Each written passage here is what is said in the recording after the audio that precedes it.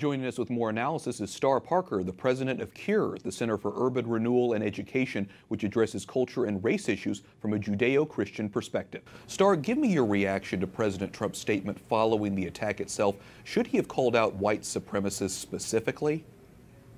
I think the president was point on when he called out both sides. Uh, we've had the alt left instigating the alt right, the alt right instigating the alt left uh, for quite some time. So I think that it is to, uh, absolutely uh, uh, the right messaging from the president's office to make sure that we as a society move forward. This election was not about the Confederacy, but it also was not about big government. This election was about moving our nation to its founding principles. And a lot of voters uh, came out to make sure that we had an administration here in Washington, D.C., that is going to move our country forward. But yes, I think that those comments from the president, the first set of comments, were exactly right. When you think in context of where he is applying uh, those comments, we've had many, many instances where the lefts are being totally disruptive to any and everything uh, from college campuses to if somebody decides that they don't have the right point of view according to the left when it comes to marriage or, or abortion. So, yes, there are both sides. Well, noting some of the tensions from Saturday, some say the president is not sensitive to the needs of African Americans, especially in inner cities.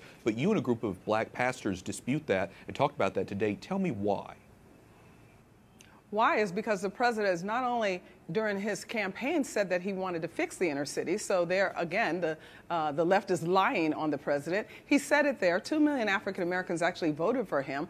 Eight percent of the population in the African American voter population. Uh, and although the majority of blacks did not vote for the president, he said again in his inaugural that he really wants to fix what is broken down in these inner cities. So, Star, aside from the federal government role and the role of the federal government, then what more do you think needs to be done to heal the racial divides in this country, noting all the violence that we saw on Saturday? We need to limit the size and scope of government. The problem that we're having in our society today is we're in a cultural war. And the reason we're in that cultural war is because the government's too big. And it, so it's forcing the public square into real conflict. We're legislating in every single area of everybody's lives, and so people are tired of it. Star Parker, the president of CURE, thanks so much for talking with us and your analysis. You're